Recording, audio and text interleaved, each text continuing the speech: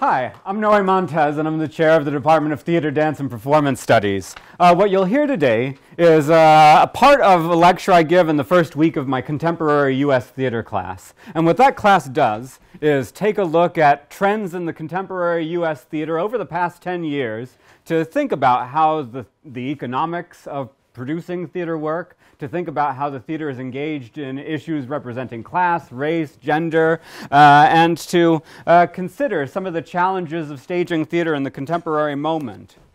Uh, so, what I'm going to talk about today is uh, the economics of producing a show on Broadway using Hamilton as my uh, case study. Um, let me start with a tiny bit of audience participation. Uh, just call it out. When I say Broadway, what's the first thing that comes to mind? Just say it. Show. Cats, show, theater, uh, anything else? Musical? Uh, All of this is great. And now, when we think about Broadway, we sort of think about it as the center of the theatrical universe, at least here in the United States. And it's an important reminder when I talk to my students and they're looking at Broadway that what we're thinking about is here's the United States as a whole. And if we scroll in, do, do, do. Now we're getting into the northeast United States, getting a little closer. You can see New York State. Closer still. And finally, here we are. When we, when we talk about the center of the theatrical universe in the United States, what we're really talking about is 42 theaters in a roughly 10 block by 3 block radius. Uh, that's something that's a term that's actually union codified. So, uh, the notion of a Broadway theater is a union term that encompasses all theaters that seat more than 500 people in midtown Manhattan. Uh, and don't get me wrong, well, there, there's some very impressive work that happens here, but it isn't the entirety of the U.S. theater landscape. So, what I want to do is to have us think about what Broadway is and how it's distinct from the rest of the U.S. theater industry, to, to learn a little bit more about who goes to Broadway shows, and then to talk a little bit more about the economics of Broadway and how things work. These are my learning objectives, just so that you see them in case you're a visual learner. And let's dive in. So, except for Broadway and uh, the, the touring productions that spring from Broadway, almost all theater in the United States is not for profit. Broadway functions as commercial theater. Now, uh, if I were to ask, it, can anyone provide with like a sentence distinction of how they understand the commercial theater industry versus a not-for-profit theater industry? And it's okay if nobody knows. Yeah, go ahead. Something like you make money out of it. That's a, a, a profit one, and the non-profit is like you just run the organization uh, so that you don't make money out of it. You don't take money out of it. Yeah, I, I, think that's a that's a, a great synopsis. So, a commercial theater, which Broadway is, is typically formed as a partnership or company to produce one play and disband. And it's bought into by a pool of investors uh, who, uh, one, uh, rent a theater space in Midtown Manhattan, one of 43 Broadway theaters. Two, uh, sign an agreement to run that show for as long as it's profitable. And three uh, are looking to reap the investments of the success of the show. Uh, uh, we'll get to this in a little while, but uh, investing in a Broadway show is oftentimes a terrible, terrible idea. Um, fortunately, losses are tax deductible for the most part. Uh, whereas a non for profit theater, which is what 99% of the theaters in the United States are, a theater organization plans a slate of plays as part of their season with a goal of year to year sustainability and uh, perpetuity. Um, uh, usually, uh, the shows in a season have set open and close dates, although they can extend by a week or two in many instances. Uh, they rely on partially box office, but predominantly donations, grants, donor support, uh, similar to a university in that sense. Uh, and uh, the inco- any profit generated by the show goes into the endowment with the goals of sustaining the institution, again, in perpetuity. So let's turn to Broadway and start to think a little bit more about who goes. So, over the past 30 years, we can see that the attendance for a Broadway show has grown quite considerably uh, from about a low of six and a half million people in the 1985 1986 season to nearly 15 million people a year now. Um, approximately 35% of the people who go to see Broadway shows live in New York City or the tri state area.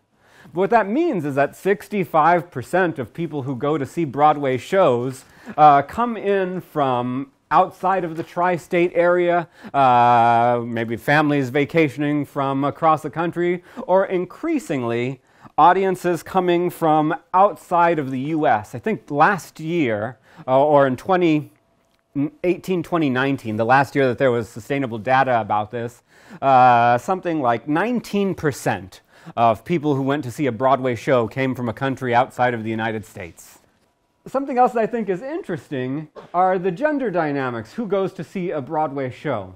Uh, you know, the U.S. population is about evenly split, 51-49 uh, female male, but 68% of the people who walk through a Broadway playhouse are women and 31% are men. So when we start to ask ourselves why Broadway produces the things that it does, what's successful on Broadway, this is part of the consideration that we have to keep in mind. Uh, that you know this is part of the audience that they're playing for.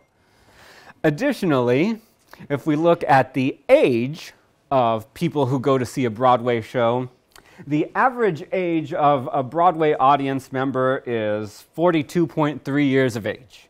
Um, and even within the distinction between musicals and plays on Broadway, there's a gap still. So the average age of somebody who goes to see a musical is 41.2 years, whereas the average age of someone who goes to see a play is a uh, higher 47.2 years of age. Now, you know, uh, there are lots of reasons why there's such a small percentage of, you know, under 18 relative to the U.S. population. Um, you know, uh, Broadway shows are expensive, as we'll talk about in just a moment. I'll get to your question in just a second. Uh, the shows start at 8 and can oftentimes run till 11, so it's not the most kid friendly audience time, and there are travel logistics too. Yeah, go ahead. I'm sorry, I'm just looking at your chart, and I don't understand what audience census index is. Uh, so, this is the percentage of the audience relative to their place in the U.S census. So if 24% of the US population is under 18, uh, you, and it was sort of demographically equal, you would see 12% of Broadway audiences, or 24% of Broadway audiences being under 18. But instead, it's 12%, so that's where the 50% comes from. So, you know, you can see percentage wise the 25 to 34 group uh, and the 50 to 64 group are uh, the sort of two biggest in terms of index. And you know, uh, again, uh, thinking about price considerations, the average ticket price on Broadway now is just a hair under $150. Um, uh, and many of the shows, including Hamilton, have starting ticket prices that are much higher than that. Next, uh, I want to talk about uh, race and ethnicity in relation to going to see Broadway shows. So, what we can see pretty clearly is that 74% of the people who go to see Broadway shows are white, which is a higher percentage than uh, the US population as a whole. Uh, and where there's a lack of representation comparatively are among uh, Hispanic or Latino folks or black folks uh, who have a much smaller audience share on Broadway than they do inside of the US population. And again, I mention that only so that we consider what sort of shows are being seen on Broadway and why there aren't a lot of shows that uh, necessarily speak to uh, audiences of people of color.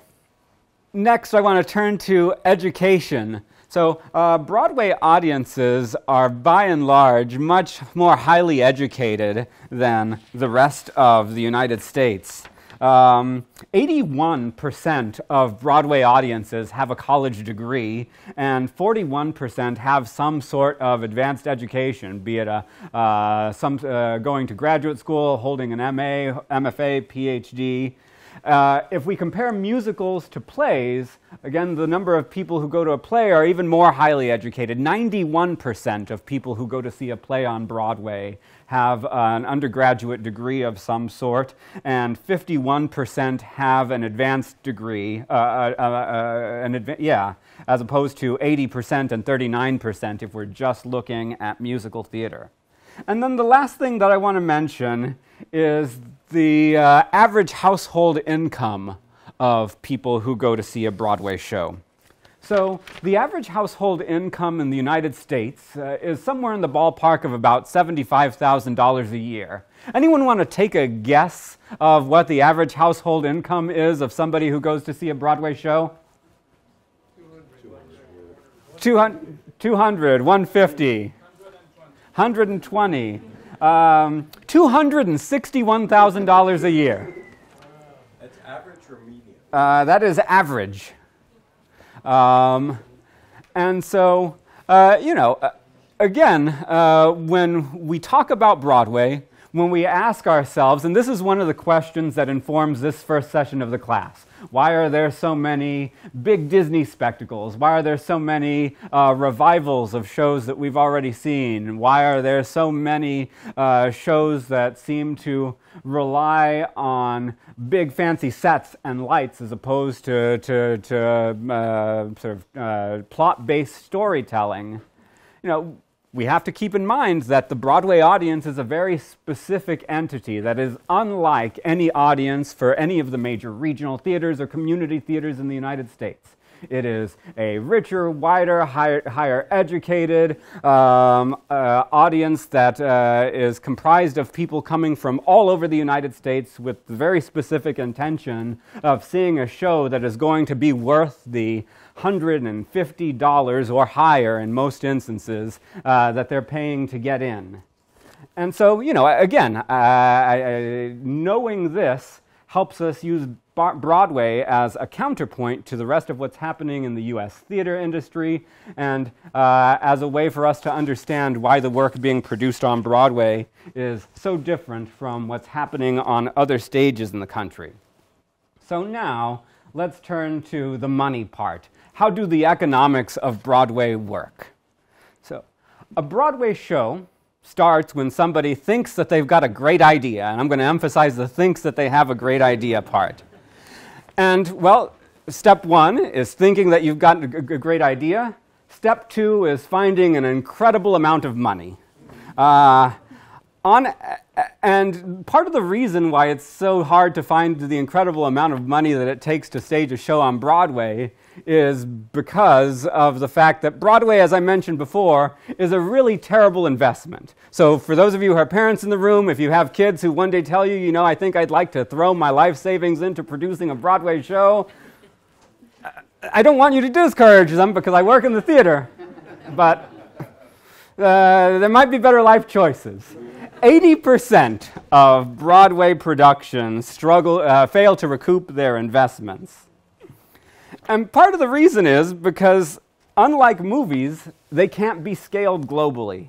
Uh, at best, a Broadway show is performed eight times a week in a theater ranging from 500 people to about 1,700 people, creating really big supply and demand issues. So, Hamilton, for instance, plays at the Richard Rodgers Theater in Midtown Manhattan with a seating capacity of 1,300 people. At its peak in 2016 and 2017, even with the highest ticket prices priced at just a hair over $1,000, there weren't enough seats available to meet the demand. So, going back to the money, producers have a great idea. They're trying to find the money, if they can't provide it themselves, to, re- to uh, help stage the show. uh, producers start to hustle to get capital from investors. Uh, typically, a person might buy a share of a Broadway show for a price point starting somewhere between twenty-five and fifty thousand dollars, um, uh, similar to shares of stock. Many of those investors are theater fans. Some people are folks who like to speculate wildly on markets and think that it's a good deal. But ultimately, the average price of a play on Broadway is about $5 million. That's what has to be raised as sort of the initial capital to get something staged. And for a musical, it can be $20 million. Uh, famously, for uh, the uh, Spider Man musical that flopped so disastrously on Broadway about 10 years ago now, the upfront capitalization cost was $74 million. Uh, I, I, know. Uh, and if you saw that musical, uh, you, A, you're one of the very few people who did. Uh, and B, uh, you may realize very quickly that was not worth that $74 million investment.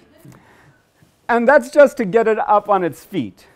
The expenses add up every time a show is performed, and those operating costs can range up to 900,000 a million dollars a week to support everything from keeping lights on to paying the actors, etc. I'll talk about that a little bit more specifically in just a moment.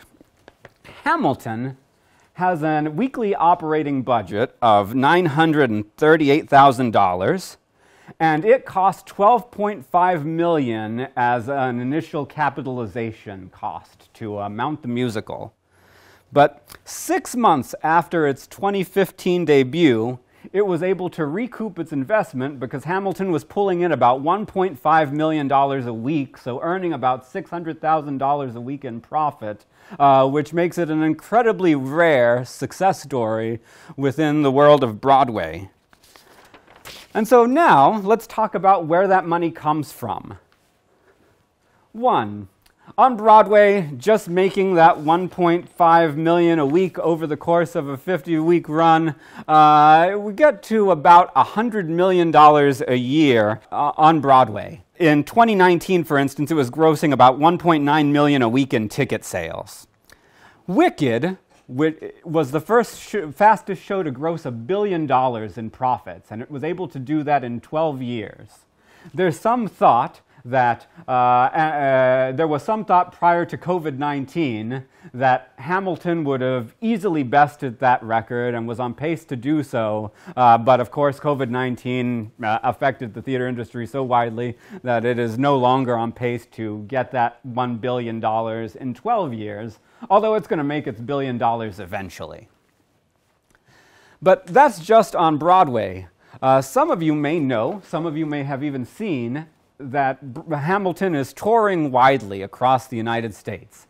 And this is the real way that Broadway shows make money through their touring industries.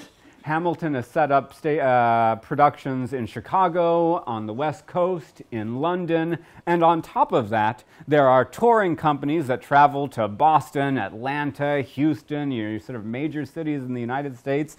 And it's estimated that each tour of Hamilton uh, makes 80 million. So if you've got three or four tours of Hamilton happening simultaneously in the United States and a tour happening in London and eventually a tour happening in Asia, you're looking at about $400 million a year of income coming in uh, just from the touring productions. And then there's sweet merch. If you've got to get that I'm Young, Scrappy, and Hungry t shirt at the top right, or if you want your Hamilton shot glass that you have to pay $15 for, you are contributing to a $15 million a year industry just on Broadway. This is just information coming from the Broadway shop. Uh, if you go buy uh, uh, merchandise at some of the other stops, you're contributing to even more uh, revenue for the company.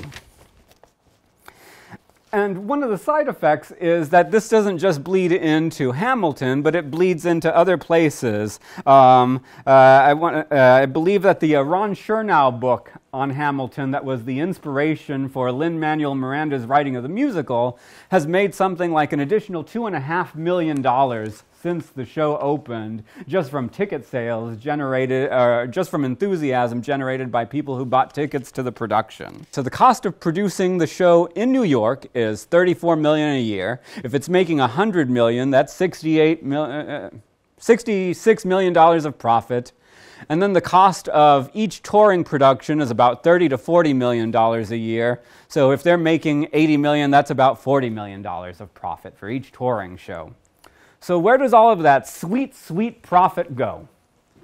Uh, let's start with the producers. And again, audience participation question. If I were to ask you to guess how much of a cut of the profits the producer pool got as a whole, what might you guess? 50. 50, 80. Was that a five? Five, five 10.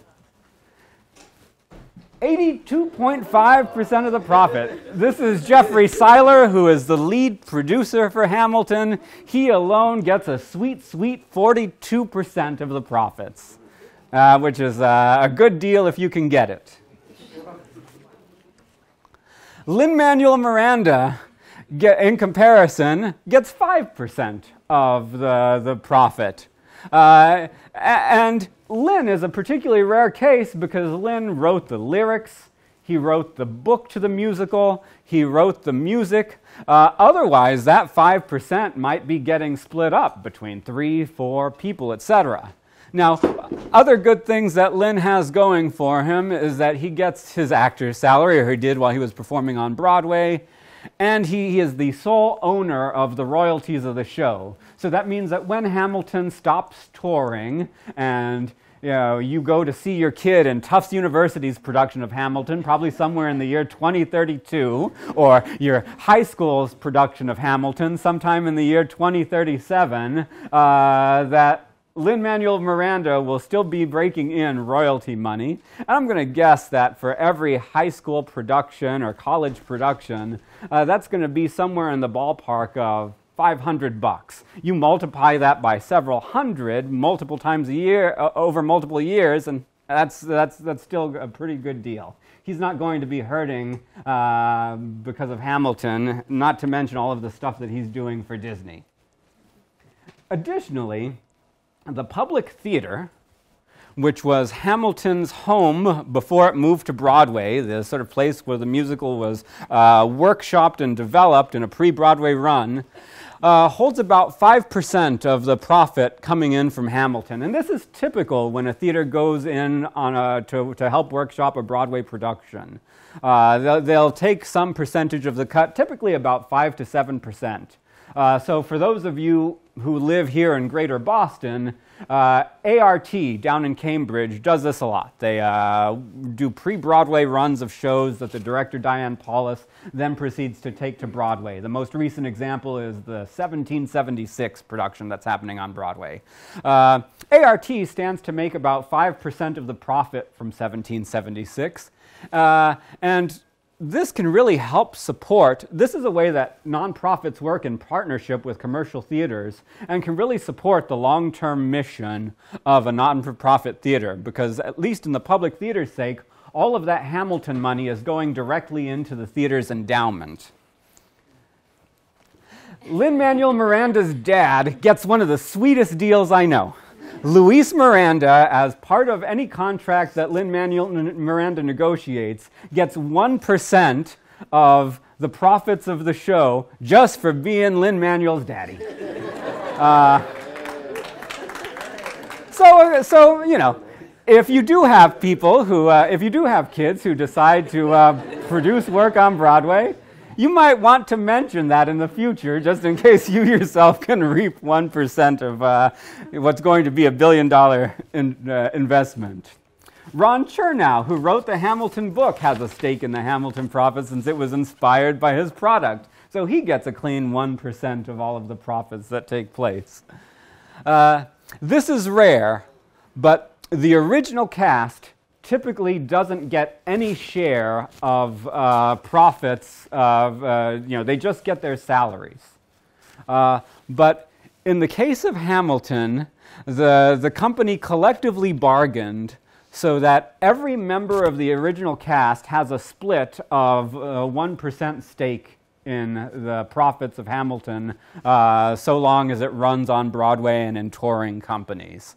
Um, given that an actor on Broadway uh, makes somewhere in the ballpark of if you're a chorus dancer, about 2,000 a week. Uh, if you're one of the leading people, maybe closer to 10,000 a week.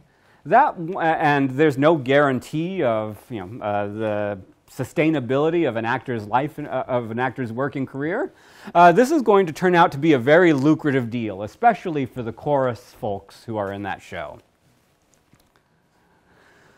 Last, uh, choreographer Andy Blankenbuehler Music director Alex Lacamoire in the middle and director Tommy Kail each have a cut of the profit. Uh, Blankenbuehler's choreographer gets 5%, Lacamoire 1%, and Tommy Kail, who was the director of this, uh, as well as In the Heights, uh, and who is a good friend uh, dating back to college of Lin-Manuel Miranda, gets 1.5%.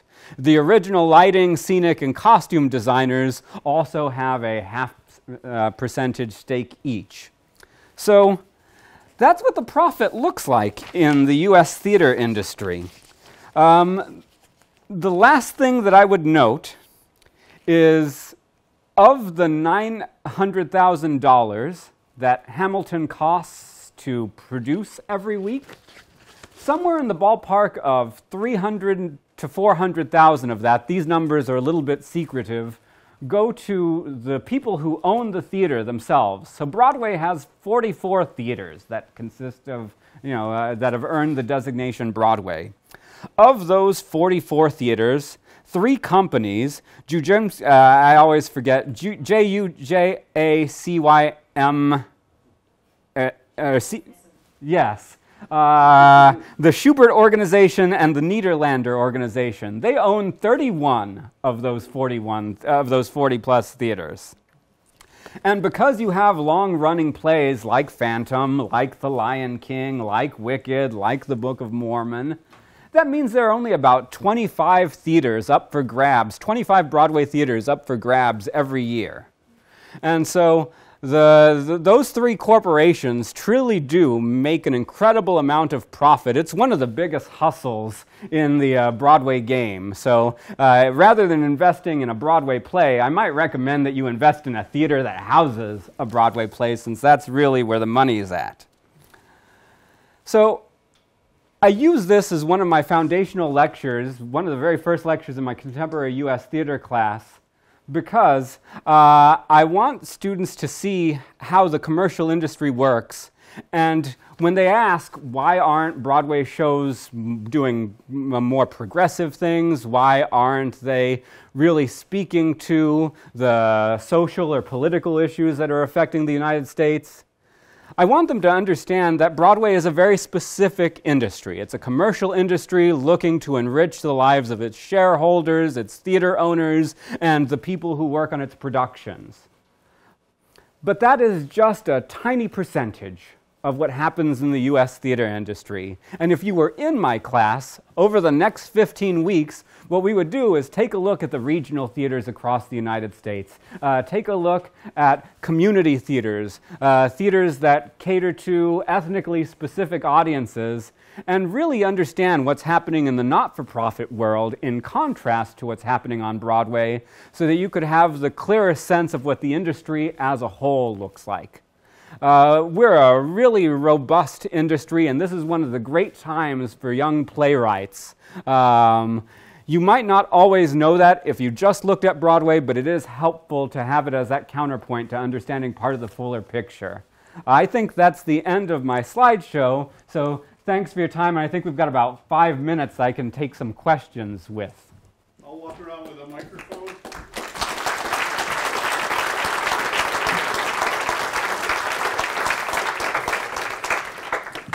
Go ahead, please. Quick question is, do, do the producers get that share because they put in most of the money, the seven and a half million? Yes, I, I, I, mean that's that, that's precisely it. You know, uh, and I don't want to begrudge the producers. Somebody has to put in the you know 20 million, or in Hamilton's case, 12 and a half million that it stakes costs that it costs to stake a musical.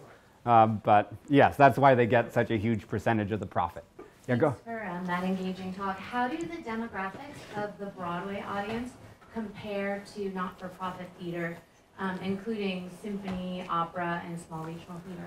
Uh, so I don't have the numbers for a symphony and opera, uh, but uh, as a whole, um, regional theater audiences tend to be uh, more diverse. So if the number was, uh, I forget, let me look here, 60 uh, or 74% uh, white on Broadway. Uh, the number is closer to about 65, 64% white for the major regional theaters across the United States. The per household uh, income is uh, about $134,000 a year, which is still twice more or less of what the household income is as an average in the nation, but much lower than what's on Broadway.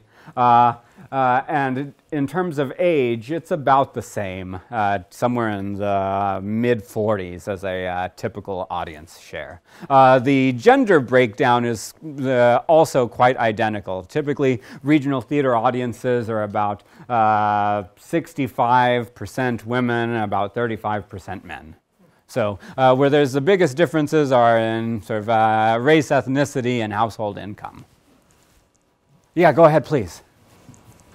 So now that Hamilton is a huge hit, it's, it's easy to see that that's kind of representative. It started as the exact opposite of what you say succeeds. It was an original piece done by an ethnically diverse audience Mhm. in a musical style that really had not had any place on Broadway.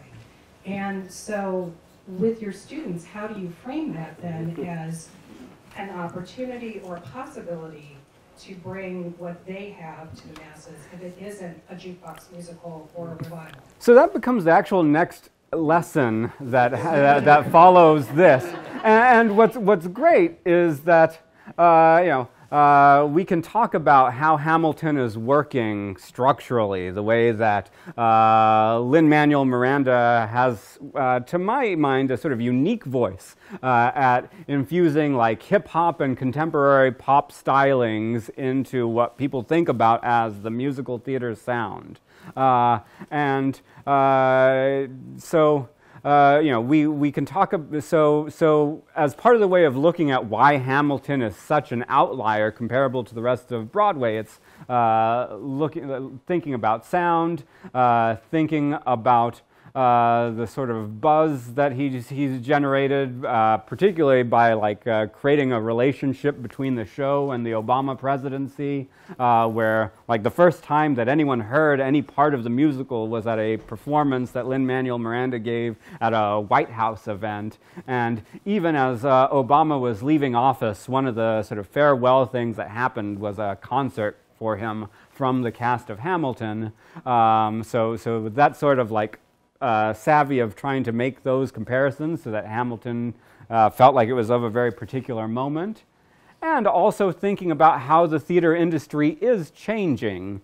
Um, despite the, or although the numbers look uh, incredibly white, incredibly affluent still, the theater is becoming increasingly diverse in its audience share. If I were to show you those numbers from 20 years ago, it would be closer to 85% white audiences on Broadway. Uh, so Hamilton is a sort of a uniquely told voice by someone who I think is a musical theater visionary. Two, came about at like the right political moment to align itself with what was happening in the country. And three is sort of the torchbearer of a shift that is slowly but surely starting to happen uh, among Broadway audiences. Wow, one extra question. So I wanted to build on this last question because I see your point about the nonprofit theaters have two jobs.